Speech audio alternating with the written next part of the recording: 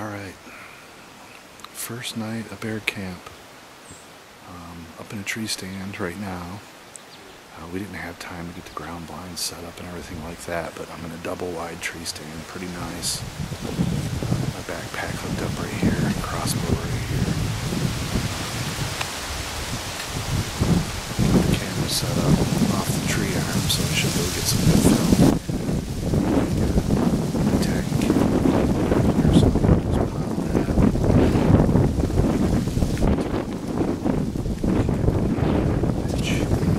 This is what I'm rolling with today. Got the Tactacam, Crossbow, Express, 390 pound dragger.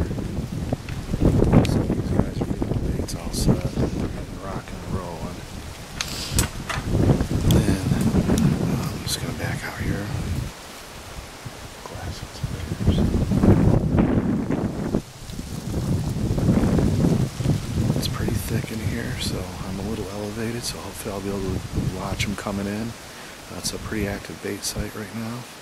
They've been just tearing it up, so um, just gonna sit out my first night. I'm gonna get some bears on film, hopefully. And that's really the goal, is just to see some bears and uh, see what happens. First night of bear hunting. This camp is really cool. The accommodations are nice good cooking. Tents all have their own wood stoves in there. There's power if you need to charge cameras or phones or anything like that.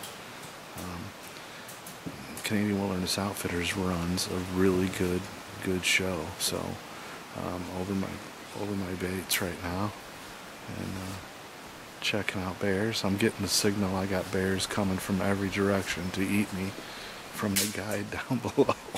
so let me get these guys on film and introduce you a little bit. The, the guy in the black is Scott, and the guy in the Campbell with the blue hat is John.